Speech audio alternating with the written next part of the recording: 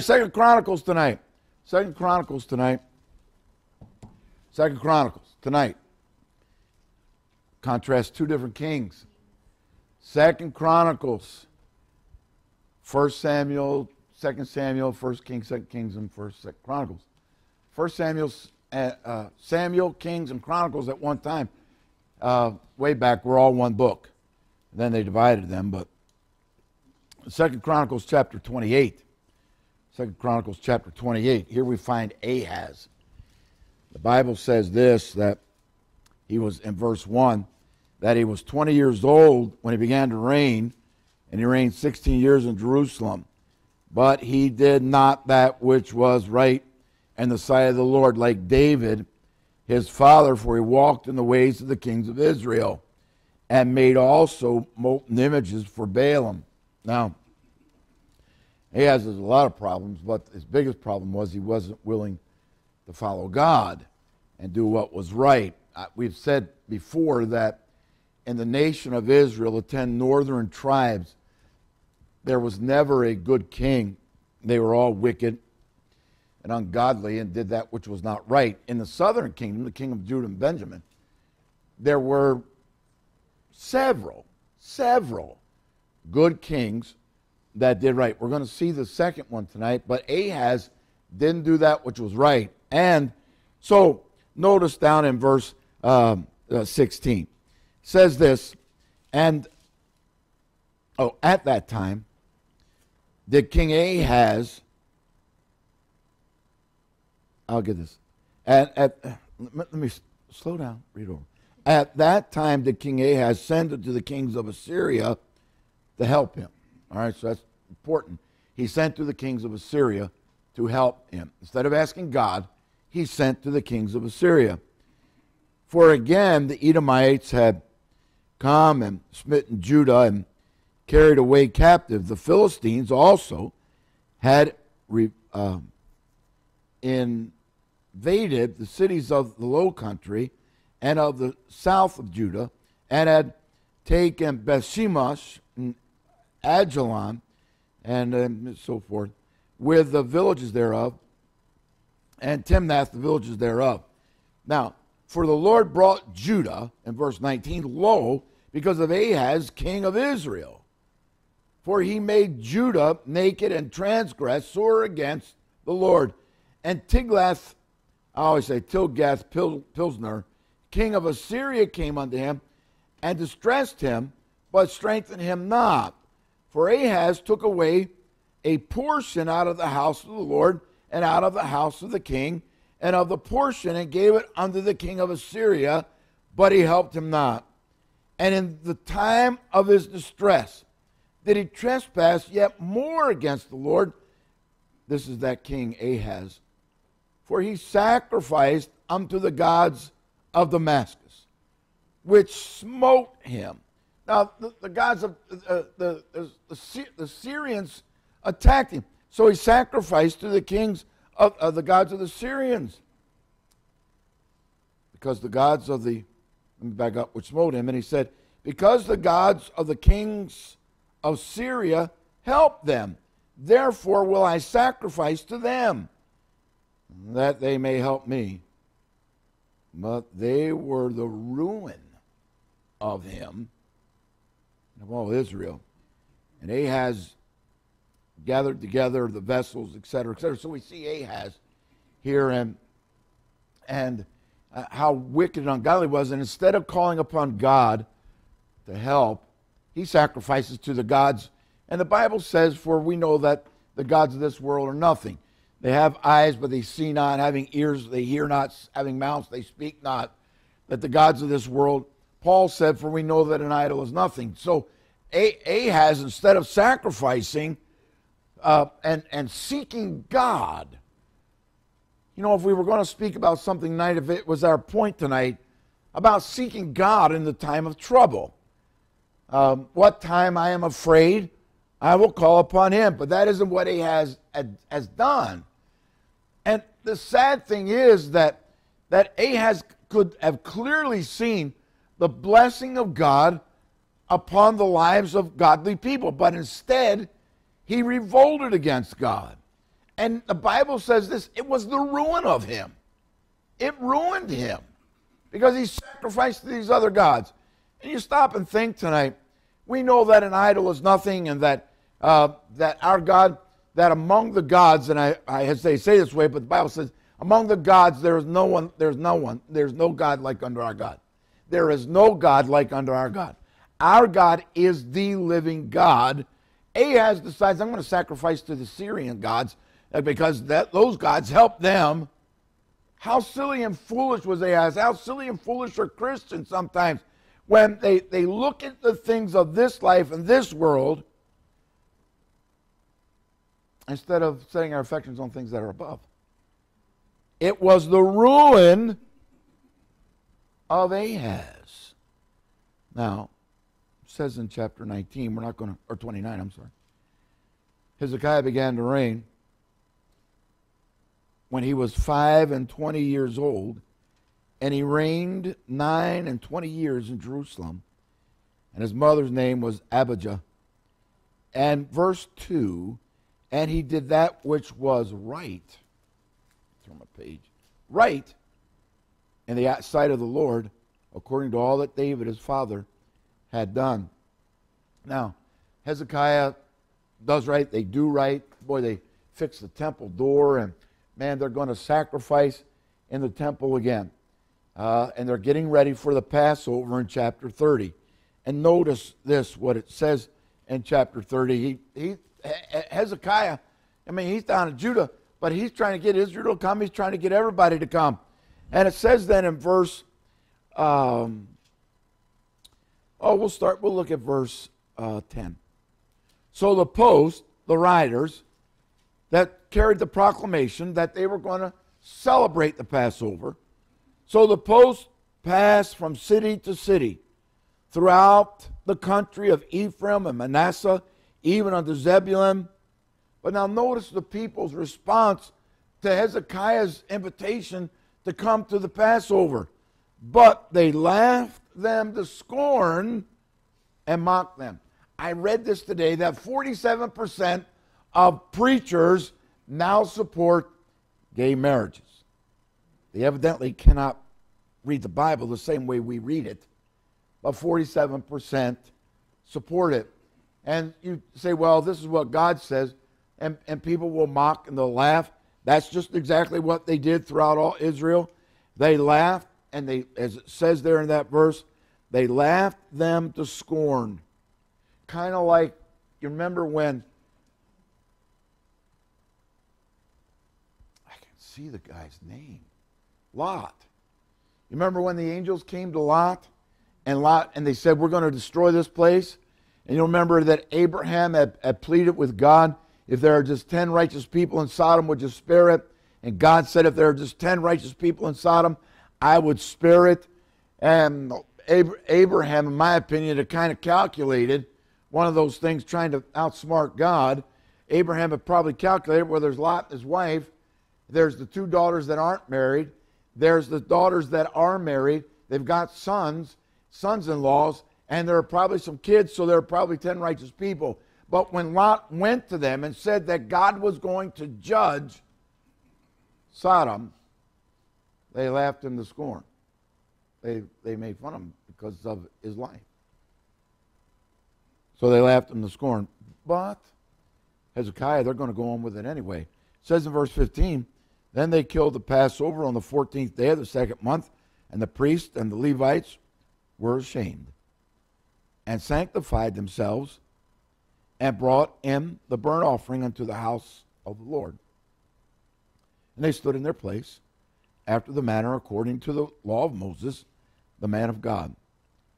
The priest sprinkled the blood which they received of the hand of the Levites. Now, okay, so the, the Passover not been kept. As a matter of fact, it'll say, um, yeah, I'll read it in a minute. But anyway, so they, they keep the Passover, but some of them are not cleansed to be able to celebrate the Passover. So notice verse 19. I like this. They that prepareth the heart. Let me read verse 18. For a multitude of the people even many of Ephraim and Manasseh, Issachar and Zebulun, had not cleansed themselves, yet did they eat the Passover. Otherwise, then um, it was written. But now, so look, you remember in Matthew 23, Jesus called the Pharisees a bunch of whited sepulchres. Because at the time of the Passover, they would whitewash the tombstones. Because if, they, if anybody touched the tombstones, they could not keep the Passover because they would be unclean. And so Jesus called them a bunch of whited sepulchres because on the outside they looked good, but on the inside they were full of dead men's bones. So these people kept the Passover. They weren't as set apart as they should be, but it had been a long time since it. But notice, but Hezekiah prayed for them, saying, The good Lord pardon every one. I like that. The good Lord pardon everyone uh, that prepareth his heart to seek God, the Lord God of his fathers, though he be not cleansed according to the purification of the sanctuary. And the Lord hearkened to Hezekiah and healed the people. What they were doing was not right. But Hezekiah prayed a simple prayer The good Lord pardon you. And God did. God looked down, saw that their heart was their heart was right. Man, man looketh on the outward, but God looks on the inside. Their heart was right. And it tells us that they uh, the, the, the Passover that they celebrated, and the children of Israel that were present at Jerusalem kept the feast of unleavened bread seven days with great gladness. And the Levites and the priests praised the Lord day by day, singing with loud instruments unto the Lord. And Hezekiah spake comfort, comfortably, excuse me, unto all the Levites that taught the good knowledge of the Lord. And they did eat throughout the feast seven days, offering peace offerings and making confession to the Lord God of their father. It says down just a little bit further, which we won't read, that there was great joy because they sought God. Unlike Ahaz, who decided, well, I'm going to sacrifice to the Syrian gods because the Syrian gods evidently helped them because I don't have anybody to help me. Hezekiah comes along and says, you know what, we're going to clean the temple up and we're going to sacrifice the Passover and we're going to keep the Passover. I understand that the people weren't quite prepared for the Passover, but the good Lord pardoned them, and God did, because the people's hearts were in the right place. Now, Hezekiah has problems.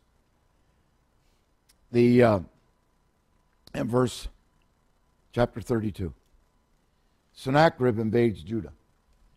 And Sennacherib was the king of Assyria.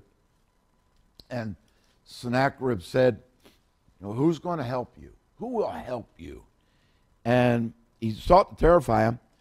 In verse 9, after this, did Sennacherib, king of Assyria, send his servants to uh, Jerusalem, but he himself laid siege against Lachish, and all his power well, with him unto Hezekiah.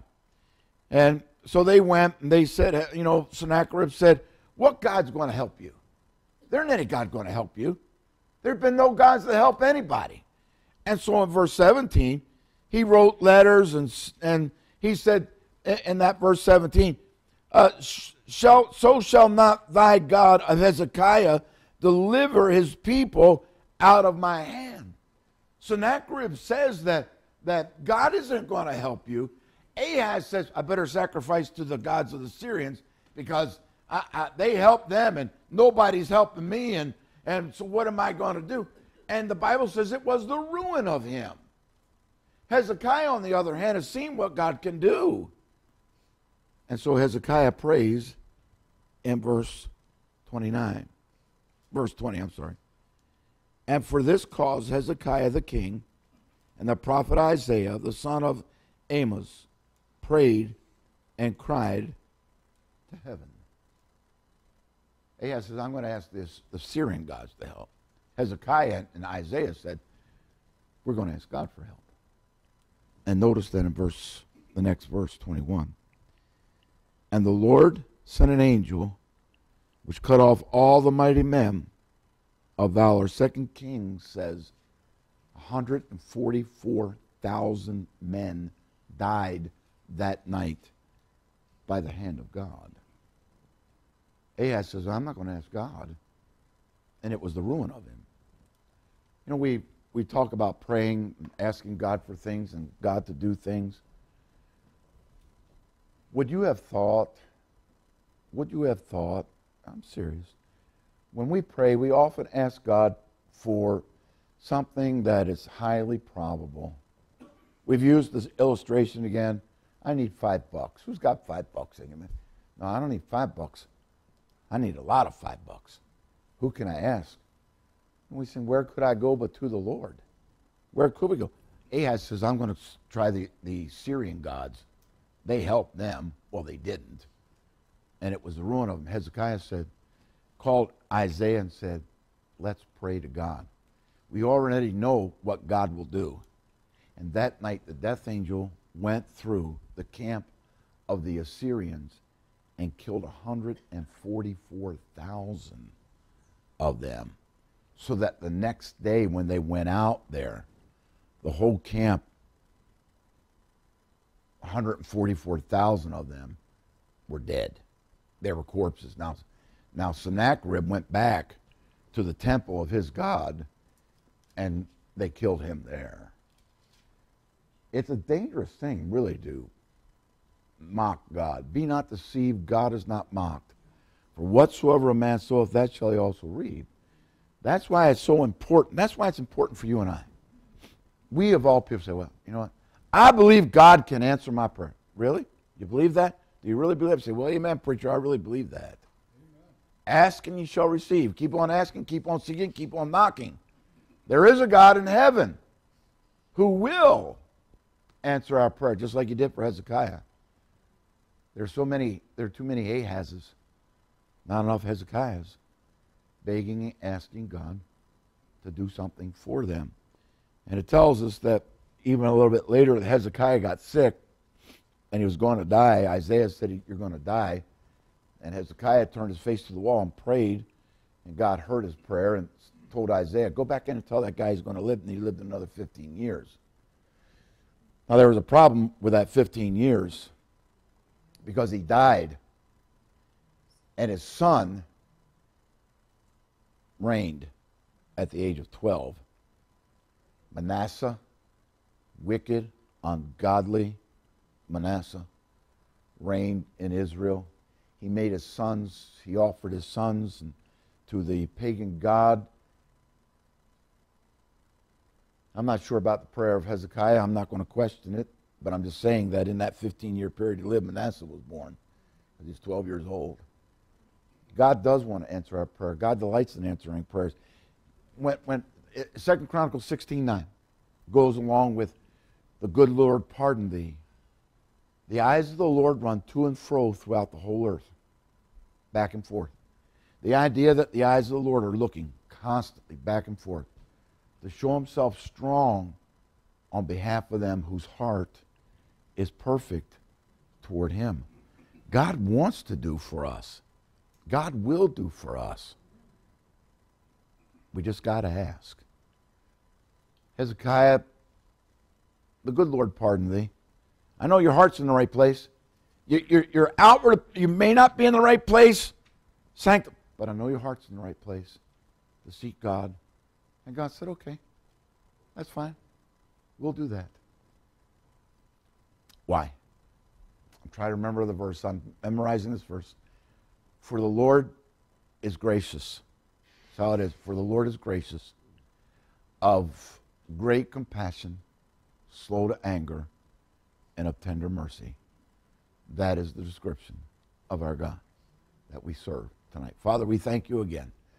Lord, here's a contrast between Ahaz and Hezekiah. Lord, what a difference in these two guys. One guy sought the pagan gods of Syria. Hezekiah sought thee. Lord, help our heart to be right toward thee tonight because the effectual, fervent prayer of a righteous man availeth much. Lord, we pray. Thank you for these that have come out tonight. And Lord, we pray that you'll bless us. Help us tonight, we pray. In Jesus' holy and precious and wonderful name. Amen.